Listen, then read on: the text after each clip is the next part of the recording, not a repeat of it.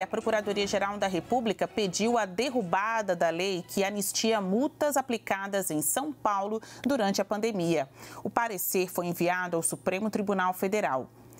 A lei foi proposta pelo governador Tarcísio de Freitas e, por causa dela, foram perdoadas todas as multas por violações a decretos que impuseram quarentena, uso de máscaras e suspensão de serviços não, essenciais no período mais crítico da crise da Covid-19.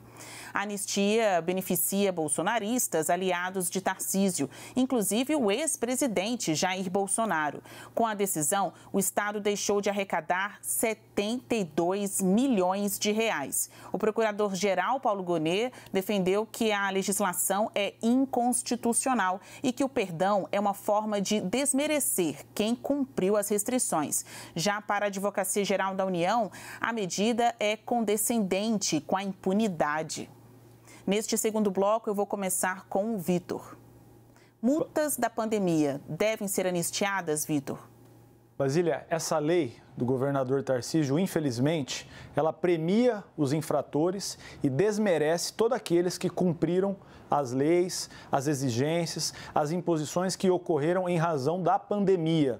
Um cenário absolutamente eh, radical, um cenário que demandava consciência coletiva, cuidado e respeito com o próximo. Então, todos aqueles que seguiram as leis serão certamente ofendidos, desmerecidos com esta lei que está premiando os infratores.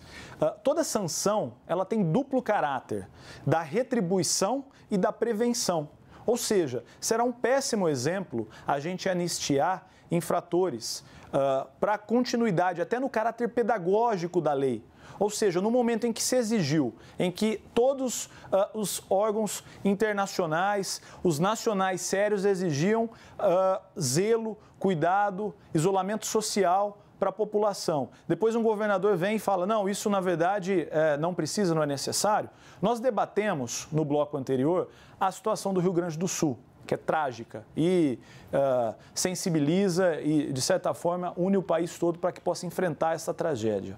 Agora, não dá para a gente exaltar a ciência, defender que medidas de prevenção sejam adotadas, por exemplo, em relação ao clima, e ser negacionista em relação à pandemia.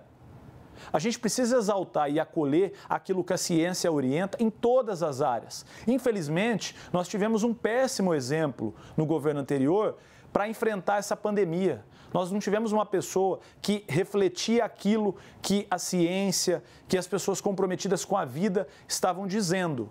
Agora, não dá para um governador, por ser aliado do governo anterior, anistiar todos aqueles que cometeram infração. Me parece um desrespeito com a população que. Uh, limitou a sua liberdade, que abriu mão, em grande medida, da sua liberdade, daqueles comerciantes que fecharam, seguiram todas as orientações uh, no momento da pandemia, agora se vem dizendo, poxa, se eu tivesse descumprido a lei, eu seria beneficiado. Me parece, assim, que é uma questão muito, muito óbvia né? As leis elas precisam ser respeitadas para que a gente tenha um convívio harmônico entre as pessoas. Se a gente cria um precedente de não de premiar aqueles que cometem infração, certamente o país vai cair num limbo e numa insegurança jurídica muito grande. É isso, Coppola. Prêmio ou consciência do tempo? As multas da pandemia devem ser anistiadas? Vê, né? Basília toda essa polêmica por causa dos 72 milhões de reais e a gente vê essas autoridades, esses influenciadores e até aplicadores do direito não uh, se chocarem com o perdão da dívida bilionária fruto de multa de acordo de leniência de empresas envolvidas nos maiores escândalos de corrupção do Brasil. Mas enfim, tudo bem, o duplo padrão faz parte uh, da nossa realidade. É, vamos falar sobre especificamente algumas dessas multas aqui da pandemia.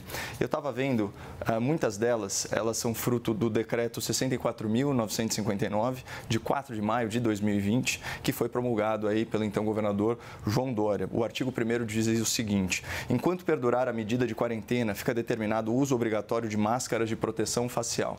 Olha que interessante. O inciso 2, a linha A, falava o seguinte: fica determinado o uso obrigatório de máscaras no interior de estabelecimentos que executem atividades essenciais. Quando a gente pega aqui a justificativa do governo estadual, ele fala essencialmente duas coisas. Olha, essa era uma medida aí aprovada com uma finalidade né, das multas, esse tipo de coisa, uma finalidade educativa, não arrecadatória. E não só isso, isso estava estressando os cofres públicos com a dificuldade de persecução né, da, do, das pessoas envolvidas nesses atos aí uh, ilícitos do ponto de vista civil.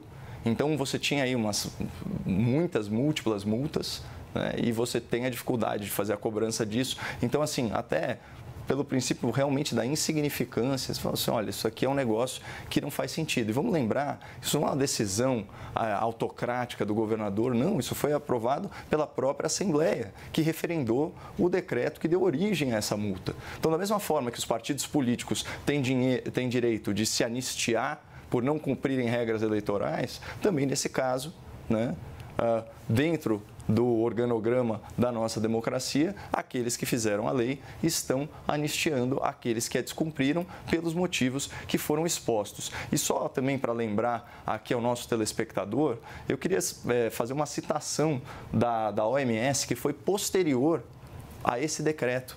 A OMS diz o seguinte, aspas, nós da OMS nunca advogamos o lockdown como método primário de controle do vírus. Estudos posteriores de grandes universidades como a John Hopkins mostraram que essas medidas, algumas medidas de quarentena, as mais radicais de lockdown mesmo, trouxeram um benefício mínimo.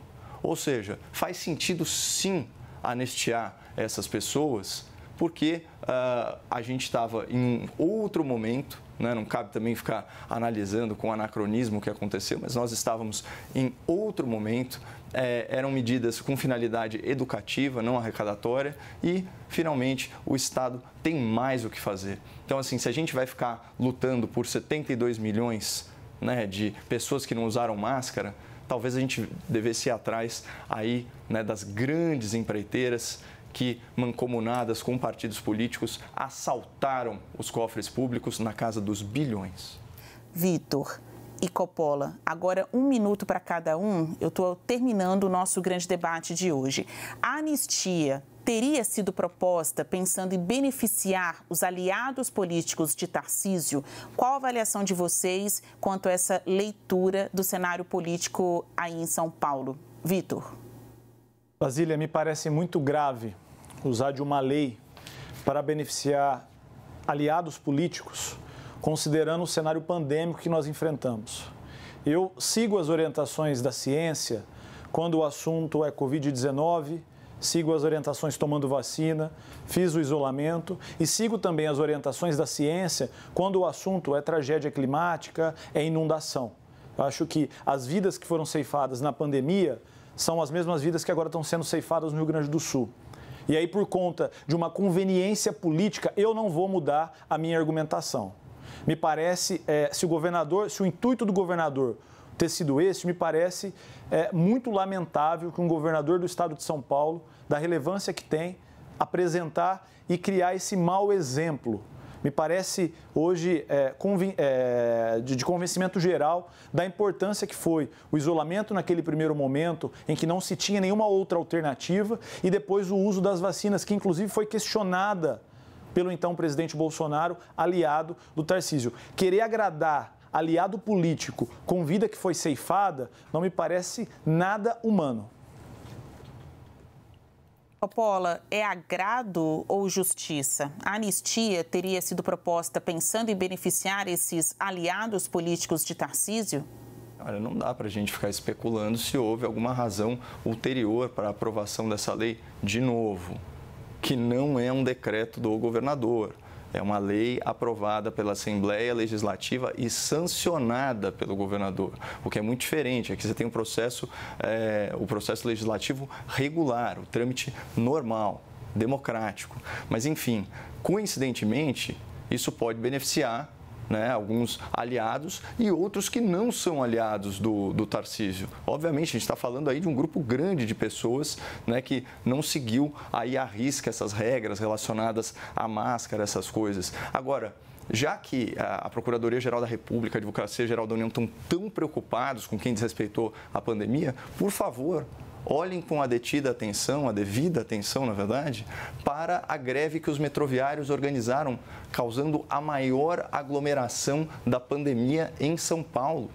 E também né, para candidatos aí nas eleições municipais de 2020 que promoviam aglomerações para fazer propaganda política.